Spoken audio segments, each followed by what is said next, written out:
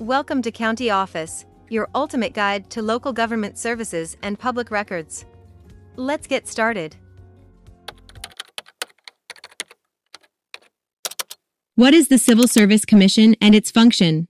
Ah, the Civil Service Commission, an essential cog in the bureaucratic machine that keeps things running smoothly. But what exactly is it, and what does it do? Let's find out. The Civil Service Commission, CSC, is an independent government agency responsible for overseeing the merit-based hiring, promotion, and discipline of civil service employees.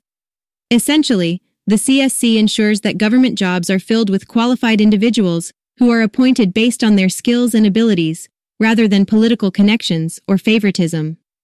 One of the main functions of the CSC is to administer examinations to determine the eligibility of candidates for various civil service positions.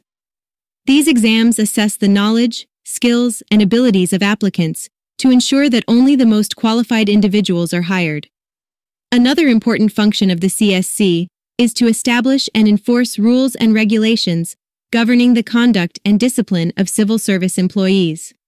This includes setting standards for ethical behavior, as well as investigating and adjudicating complaints of misconduct.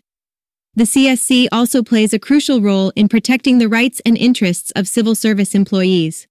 This involves hearing appeals from employees who believe they have been unfairly treated, as well as ensuring that employees are not subject to political pressure or coercion. In addition to these core functions, the CSC may also be responsible for providing training and development opportunities for civil service employees, conducting research on personnel management issues, and promoting diversity and equal opportunity within the civil service.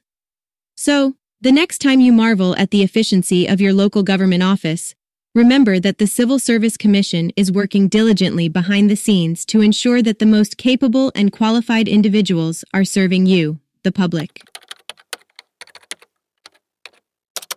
To learn more, check out these links which you can click in the description below, and feel free to comment your questions.